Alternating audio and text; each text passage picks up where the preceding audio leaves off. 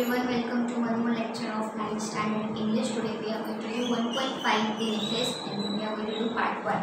Now necklace is a story written of whatever the scenario is happening in the story it is related to France and it is a French story. So it is an adaptation of a, a story necklace and it is written by Guy de Maupassant. Okay. So this story is of a normal girl who is dreaming to be live like a royal girl okay बहुत ज़्यादा normal रहती है, लेकिन उसके जो dreams रहते हैं, उसकी जो ख्वाहिश रहती है, वो ऐसे रहती है कि उसको बहुत बड़ा एकदम सेलिब्रिटी टाइप उसको रहना रहता है। तो हम हमसे भी ऐसा होता है when you see a movie something when you see a princess movie Rapunzel है फ्रोजन वाला है so what after looking those movies those attires of those girls or heroine what do you think about yourself you also wish to have those gowns the princess sash or crown whatever is there तो वो grand royal जैसा जो भी palace है वैसा हमको भी ऐसा लगता है कि हमको भी वैसा रहना चाहिए even boys when you see the Hollywood movie or Tollywood movie, movie whatever, you also wish to have the same haircut, same wardrobe of those actors or whoever celebrity he or she is so this is called persona persona मतलब हमारा जो real self है उस वो नहीं होता हम दूसरों के आगे जो हमारा फेक अटायर है वो दिखाते हैं उसको बोलते हैं persona persona is opposite of our real self okay for example you are in a public place but you are dressed up like something else like princess or something so that is called the persona. Persona means which is not actually your own self. You are pursuing the other character which you like. Okay so that is called persona. So this story is all about the persona of a girl who always want to live a royal lifestyle. Okay so let's start the lesson. Part 1 the character there are three characters. The girl name is matilde her husband and her friend so characters will reveal later. Let's start with the paragraph first. Matilde was a pretty and charming girl born as if by an error of fate into a family of clerks. She had no means of becoming known, understood, loved or be wedded to an aristocrat. So she let herself be married a minor official at Ministry of Education. Now the name of girl is Matilde she is very beautiful, very pretty, very charming and though she is very beautiful, charming, pretty, she was born in a poor family. Now here, error of fate matlab she was born in a poor family of a clerk. Clerk means the one who works under someone, some higher post, post पे जो रहते हैं उनके नीचे जो काम करते हैं उसको बोलते हैं clerk. So she was born in that small family, lower family and she always wanted to be known to be famous to be royal but she couldn't have any of the option to live this life of being royal being famous being loved by people okay being known to the people जैसे अगर कोई famous personality है कोई अमीर पैसे वाला है तो obviously people they come to know about those personality ठीक है जैसे कि कोई शाहरुख खान ले लो सलमान खान वगैरह ले लो तो ये क्या है they are known to people they are famous to people they live a royal life style same way this girl always wanted to live this royal lifestyle of being famous, being known to people, being loved by people. But she doesn't have any option to live this lifestyle because she was born in a poor family. Okay, she also dreamed of getting married to a person who is royal. उसको ऐसा एक dream था कि वो एक पैसे वाले आदमी से शादी करेगी तो पैसे वाले आदमी से शादी करेगी रॉयल आदमी से शादी करेगी तो ऑब्वियसली वो भी रॉयल हो जाएगी। बट ऐसा नहीं हुआ।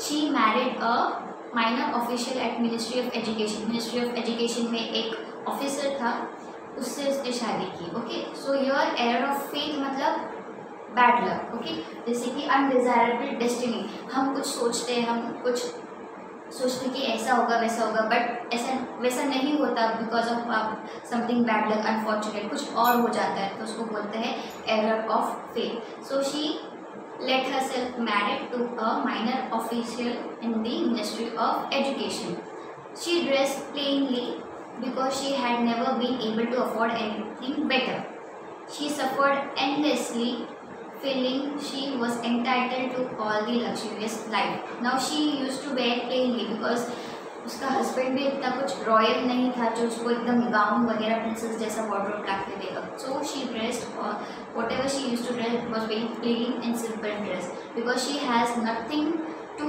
afford those costly gowns of princess attire so she suffer endlessly मतलब वो सफ़र करते ही गई उसने अपने आप को मतलब वैसे एज्यूम कर लिया था कि वो वैसी ही रहेगी प्लेन सिंपल अटायर में okay feeling she was entitled to all the luxurious life now entitled means believing to deserve privilege उसको ऐसे लगता था कि वो इतनी ब्यूटीफुल है, इतनी प्रिटी है so she should deserve all those beautiful gown to wear उसकी खूबसूरती, उसको ऐसा लगता था कि अगर वो गाउन वगैरह नहीं पहनेगी तो उसकी खूबसूरती का फ़ायदा क्या है? तो she was same she was believing like that कि अगर वो इतनी ब्यूटीफुल है तो उसको ब्यूटीफुल और बनाने के लिए उसको गाउन्स वगैरह का रॉयल पैलेस का बड़े बड़े महल का वैसा उसको रहना चाहिए। लग्जूरियस लाइफ में luxurious means comfortable and expensive things जो भी रहते हैं, उसको बोलते हैं luxurious okay she suffered because of her shabby poorly finished furnished house now she suffered उसको मतलब जो उसका ड्रीम था, वो वैसा नहीं हुआ। Then too she live in a plain way and because of her shabby poor furnished house shabby मतलब बहुत ज़्यादा यूज़ करने के बाद जो हालत होती है, कोई चीज़ किसको बोलते हैं shabby for example if you use a book for long for example take this book it is use for years I think so so it's quite shabby मतलब थोड़ा सा पुराना हो गया है तो it's called shabby if you use something for more longer time or if you don't take care of those things so it becomes shabby मतलब poor condition because of longer use or because of no care of that person uh, of that uh, thing okay that is called shabby shabby means poor condition so उसका जो घर था वो भी एकदम shabby था क्योंकि उसके फर्नीचर्स भी बहुत ज़्यादा यूज़ हो गए थे और फर्नीचर यूज़ होने के बाद shabby हो जाता है बहुत ज़्यादा पुराना लगने लगता है okay okay? All these things that other women of her class would not even have noticed tormented her and made her resentful. She dreamed of a grand palatial mansion with vast rooms and inviting smaller rooms perfumed for afternoon chat with close friends. Now all now she was like कि उसकी as की जो भी girls हैं, जो भी women हैं they are living those life which they wanted उसके जो भी फ्रेंड्स हैं they are living those royal life and she is not living that royal life so she always dream to have that palatial mansion palatial mansion means बड़ा सा महल huge palace उसको बोलते हैं palatial mention और उसके अंदर she was dreaming to have small small rooms जहाँ पे वो अपने फ्रेंड्स को इनवाइट करेगी, उनके साथ कुछ चैटिंग वगैरह करेगी गॉसिप्स वगैरह करेगी। So she was dreaming like that ना your tormented means causing anger उसको गुस्सा आता था खुद के ऊपर कि उसके सारे फ्रेंड्स हैं जो भी उसके फ्रेंड्स हैं उसकी एज की जो भी वुमेन है जो भी लेडीज़ है they are having all those thing which they wanted to have but she is not having anything which she wanted to have सो उसके उसको गुस्सा आता था. Okay then next paragraph yet she had no rich dresses no jewels nothing and this were the only thing she love She wanted so much to charm, to be envied, to be sought after.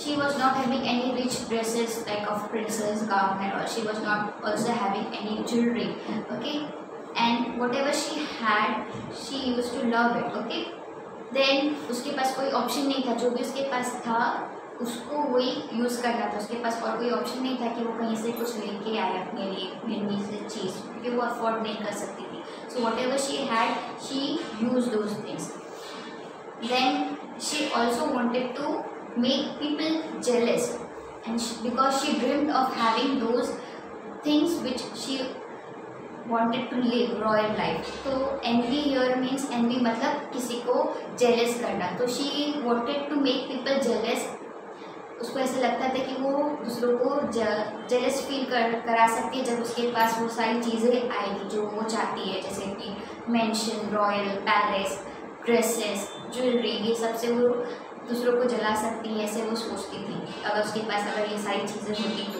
okay then next paragraph She had a rich friend, a former schoolmate at the convent, whom she avoided visiting because afterwards she would weep with regret, despair, and misery. She was having one friend जो formal school में थी formal मतलब past हो गया जो अभी है नहीं फॉर्मर मीन्स जो जिसका पोजीशन अभी है नहीं, उसको फॉर्मर बोलते हैं। जैसे कि फॉर्मर स्टूडेंट होता है, जो जो टेंथ पास करके स्कूल से चले जाते हैं, उनको फॉर्मर स्टूडेंट बोलते हैं। जैसे एक्स होता है ई एक्स वाला। ई एक्स की जगह पे फॉर्मल यूज़ करते हैं। Ex student ex husband ex wife so ex की जगह पे फॉर्मर फॉर्मल यूज़ करते हैं। तो she was having a form of friend जो उसकी स्कूल मेट थी that is called form of friend okay former schoolmate and she avoided to talk to her because she was very rich उसकी जो friend थी बहुत rich थी. अभी वो उसके साथ बात करने के लिए अवॉइड कर रही थी. जो मेटिल मेटिल्डे थी, वो अपनी स्कूल फ्रेंड के साथ she use to avoid talking because she was so beautiful और बहुत पैसे वाली थी उसकी फ्रेंड तो वो उसके सारे, जो भी उसके पैसे वाले जो चीज़ें हैं, वो देख के मेटिल्डे को जो है बुरा लगता था क्योंकि उसके पास वो सब चीज़ें नहीं है. तो इसीलिए वो अपनी फ्रेंड से बात करना अवॉइड करती थी okay then she would weep with regret weep मतलब क्राइम शेडिंग क्लियर टीयर्स उसको बोलते हैं weep she would she would weep with regret despair and misery वो रोती रहती थी रिग्रेट मतलब पछतावा कि उसके पास कुछ नहीं है ऐसा ग्रैंड जो अपनी फ्रेंड के लेवल पे वो आ सके okay so she use to cry with that regret despair means loss of hope उसके पास कोई ऐसा पैसे वाला अमीर बनने का कोई होप भी नहीं था, क्योंकि उसका हस्बैंड भी एक छोटा मोटा काम करने वाला ही था। तो she was with loss of hope despair means loss of hope और एब्सेंस ऑफ़ होप जहाँ पे कोई होप नहीं रहता, कुछ पैसा कमाने का। So she was despair and misery misery मतलब state of unhappiness she was unhappy because she was not having that life which she always dream of living so she was in this misery and despair. Then next paragraph. One evening her husband came home with an air of triumph, holding a large envelope in his hand. Look, he said, here's something for you. And then one evening her husband came home with an air of triumph. triumph. Triumph मतलब victory उसका जो husband था वो एकदम खुशी खुशी घर पे आया क्योंकि उसने कुछ अचीव किया था कुछ विक्ट्री उसको मिल गई थी and what is that Holding a large envelope. Now here you will not call it as envelope, you will call it as envelope.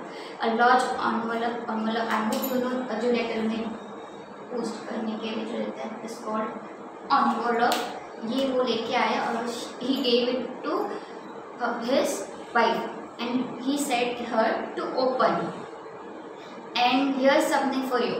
उसके हस्बैंड ने उसको वो envelope दिया उसको बोला कि देखो इसके अंदर कुछ है तुम्हारे लिए She tore open the paper and drew out a card on which was printed the words. Then she tore those that envelope and then she removed the card which was there inside that and inside that card there were words and the words are the Ministry of Education and MME matlab madam okay the Ministry of Education and Madam Georges Ramphonium request the pleasure of M. M here means Mr. Mr. and Madam Loisel's company at the ministry on the evening of Monday, January 18. तो जो card था that was a invitation card. तो card में लिखा था कि जो minister of education है मिनिस्टर ऑफ़ एजुकेशन जो आदमी है और उनकी वाइफ मैडम जॉर्जेस वो इनवाइट कर रहे हैं मेटिल्डे और उनके हस्बैंड को ऑन जनवरी एटीन मंडे को एक पार्टी है, वहाँ पे इनको इनविटेशन आया है। So it was written like this on that card instead of being delighted as a husband has hope she threw the invitation on the table resentfully and muttered what do you want me to do with that and what do you expect me to wear if I go now, after reading that invitation from a big people, from such royal people of minister the husband of Matilda thought कि अगर मेरी wife ये वो invitation पढ़ेगी तो वो खुश हो जाएगी। उसके हस्बैंड को ऐसा लगा। बट ऐसा नहीं हुआ। It was opposite of that what Mathilde did she threw that card and resentfully मतलब एकदम एंग्री में शी आग्स हर हस्बैंड कि मैं इसका क्या करूँ? मेरे पास कोई कपड़े हैं नहीं पहनने के लिए और वहाँ पे पार्टी अटेंड करने के लिए। तो मैं कार्ड का क्या करूँ? वॉट यू एक्सपेक्ट तुम क्या चाहते हो? मैं क्या करूँ? क्योंकि मेरे पास कोई कपड़ा नहीं है पार्टी में पहनने के लिए। So this way she reacted to that invitation delighted means happy okay then next. He hadn't thought of that. He hadn't thought of that. He stammered, why? The dress you go to the theater in, it seems very nice. अभी उसके husband ने ऐसा सोचा नहीं था कि उसकी wife ऐसे एकदम एंग्री में रिएक्ट करेगी। What he thought that delighted what he thought that she would be delighted and happy but she was not delighted and happy instead she was angry and she आज her husband की मैं इन card का क्या करूँ? मेरे पास कोई कपड़ा है नहीं। तुम क्या चाहते हो? So what her husband said stammered stammered मतलब जो रुक रुक के बात करते हैं बोलने के टाइम उसको बोलते हैं stammered so he stammered by the dress you wear when we when we go to theater the dress you wear it is very beautiful you can wear that dress This way the husband is consoling that Matilde. Then he stopped, stunned and distressed to see his wife crying. He stuttered, What's the matter? Let's see, Matilde, how much would a suitable dress cost? फिर जब उसने बोला कि वो तुम theatre वाला dress पहन सकती हो तो मठियोदे ने कोई रिप्लाई नहीं किया। Instead she started crime when she started crime this husband he was stunned stunned मतलब he was shock to see his wife crime distress means unhappy sad वो सैड हो जाता है और थोड़ा शॉक हो जाता है उसकी वाइफ को ऐसे होते हुए देख के। Then what he says he again console his wife that कि क्या हुआ, क्या प्रॉब्लम है? If you want a new dress we could buy a new dress you can say me what will be the cost of that new dress ऐसा वो बोलता है कि नए ड्रेस का कॉस्ट क्या रहेगा, मुझे एक आइडिया दे दो। Then next she thought for a movement computing the cost and also wondering what amount she could ask for without an immediate refusal at last answer hesitantly I don't know exactly, but I think I could do it with 400 francs. Then she, when the husband said her that, she tell me what will be the cost of the new dress. So what what this Mathilde did she thought for a moment वो एक minute के लिए सोचने लग गई वो calculate करने लग गई कि ये वाला गाउन कितने का होगा computing means calculating calculating the money she started calculating the money in the mind कि ये गाँव कितने का होगा, कैसा होगा. सो विदाउट एनी रिफ्यूज़ल मतलब अगर कोई ऑफ़र करता है तुमको गिफ्ट या फिर कुछ ऐसे कुछ अच्छा चीज़ें ऑफ़र करता है तो वॉट यू से कुछ रिफ्यूज़ करोगे ना, नहीं नहीं, मुझे नहीं चाहिए, चलेगा, ऐसे, वैसे. But she did not refuse उसने रिफ्यूज़ल किया नहीं. मटिल्डे ने ऐसे कुछ बोला नहीं कि नहीं, जाने दो, हम ड्रेस नहीं लेंगे, जो है मेरे पास, मैं वही पहन के जाऊँगी. ऐसा मटिल्डे ने नहीं बोला. So this is the line without any immediate refusal मतलब मटिल्डे ने मना ही नहीं किया. Instead she she replied that, I don't know the exact cost, but it could be nearly about 400 francs. francs मतलब फ्रांस का जो करेंसी होता है, उसको फ्रैंक बोलते हैं। जैसे इंडिया का करेंसी रुपीज़ होता है सेम वे फ्रांस का जो currency that is called franc and this franc four hundred franc could be nearly about thirty one thousand ऐसा कुछ होगा इंडिया का।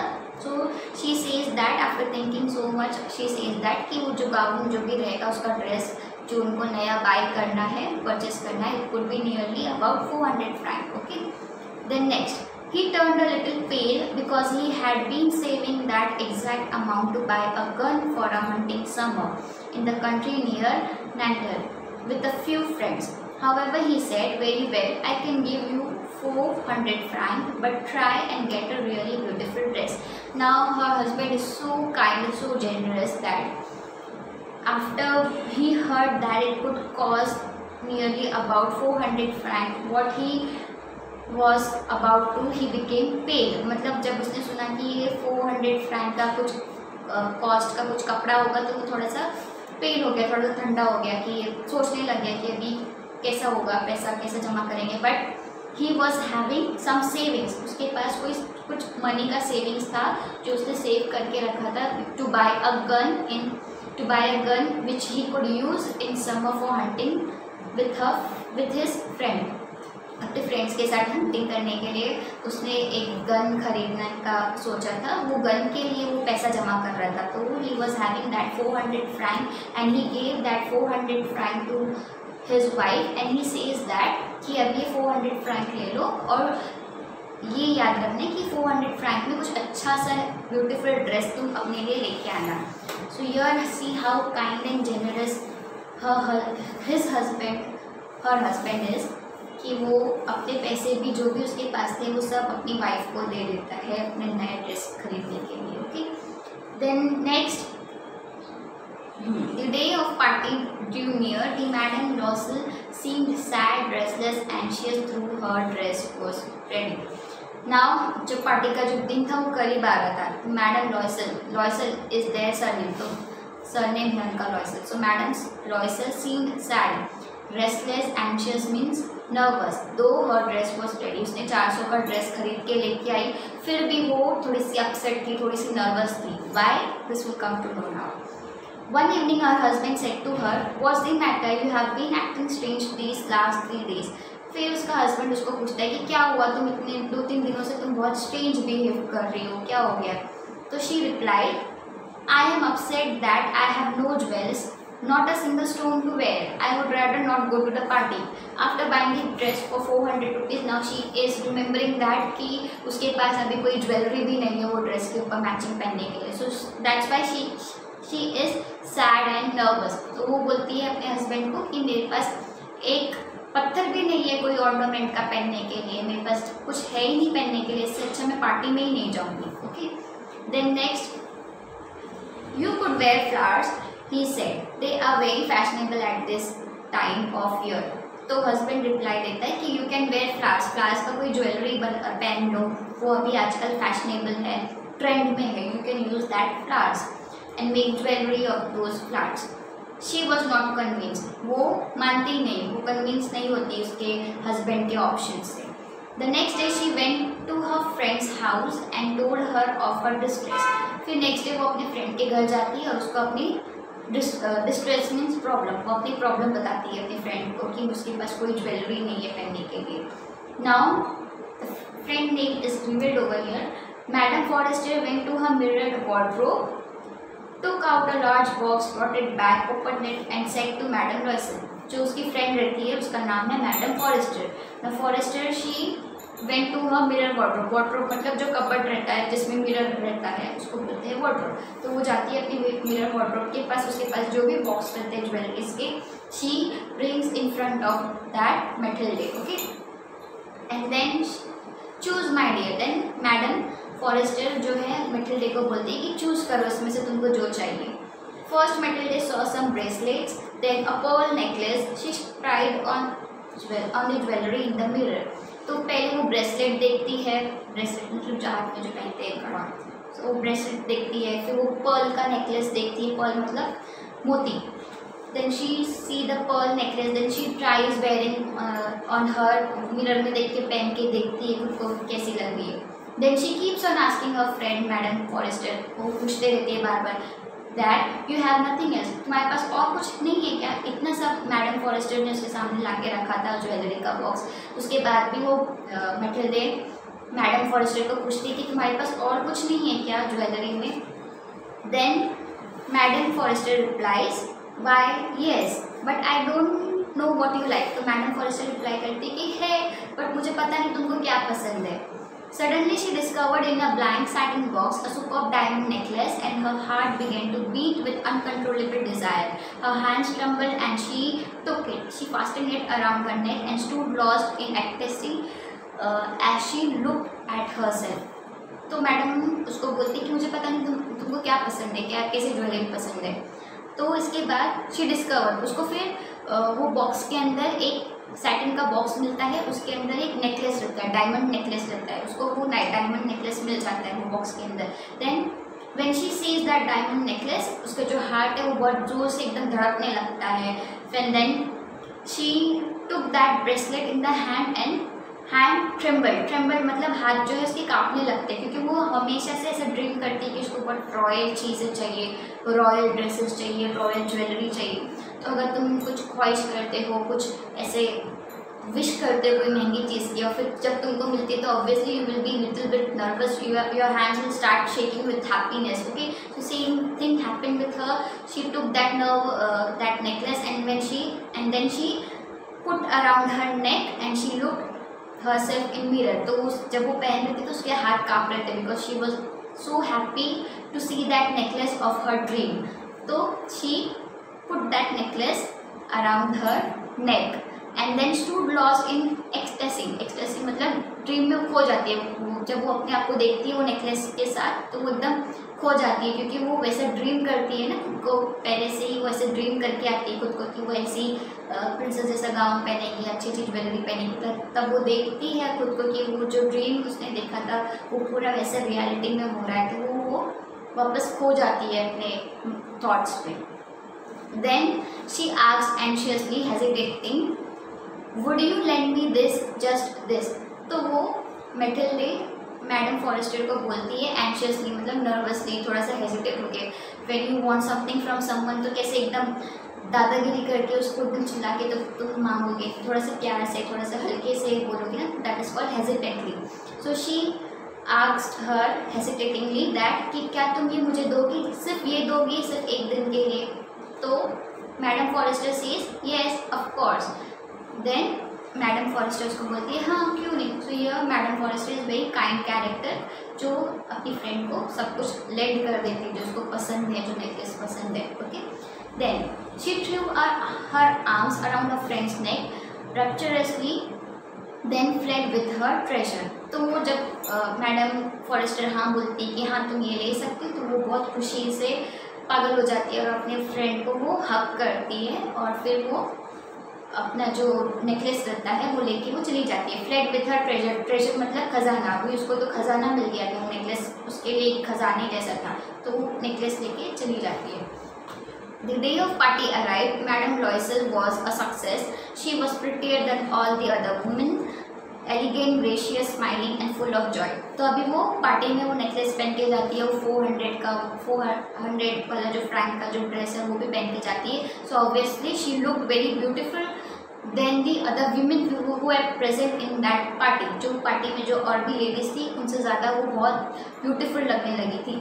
शी वॉज़ एलिगेंट एलिगेंट मतलब स्टाइलिश ग्रेशियस मतलब एकदम चार्मिंग ब्यूटीफुल जैसे she was looking that happy because उसको जो भी चाहिए था जो भी वो ड्रीम करते आई थी अब तक जैसे ड्रेस जैसे ज्वेलरी वो सब वो पहन के वो गई थी तो obviously she was blooming with happiness okay She danced widely with passion, forgetting everything in the trump of her beauty and success floating in the cloud of happiness. तो she danced there very widely. बहुत अच्छे से वो dance करने लगी बहुत दिल से वो डांस करने लगी क्योंकि जो जैसे वो ड्रीम कर रही थी बचपन से खुद को वैसे वो बन के गई थी, वैसा वो परसोना कैरी करके गई थी पार्टी में okay so she was on cloud of happiness cloud of happiness मतलब वेन यू बिकम हैप्पी तो बोलते हैं ना ये तो सातवें सातवें आसमान में चला गया because you feel that much happiness तो यर क्लाउड ऑफ़ हैप्पीनेस मतलब she was that extremely happy with her beauty and the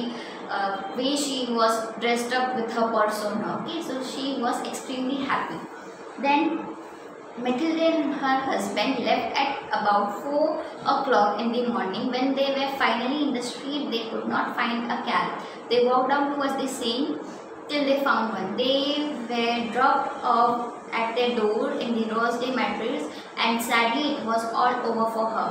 तो अभी पार्टी ख़त्म हो गई Mathilde and her husband leave the party at about four o'clock in the night रात के चार बजे वो लोग पार्टी से निकले and then what happened, they were on the street because there were no cab at night, cab मतलब taxi तो वहाँ पे रात को कोई टैक्सी नहीं थी तो वो लोग चल के उतना स्ट्रीट तक आए तो स्ट्रीट पे एक टैक्सी या कैब उनको मिल गया and then that cab it drew them near their house then your scene मतलब street okay walk walk towards the scene is a place, a street then the taxi finally they got a taxi or a cab then that taxi or cab dropped them near the their house and the house is in the Ross डी मैड्रेस ये जो नाम है ये उनके area या फिर रोड का नाम है okay then sadly it was all over for her मतलब अभी उसके लिए सब खत्म हो गया था। वो जो भी ड्रीम की थी, जैसा उसको रहना था, वो पार्टी में उसने वो पूरा ड्रीम अपना निकाल लिया। अब वो रियलिटी में आएगी, अब वो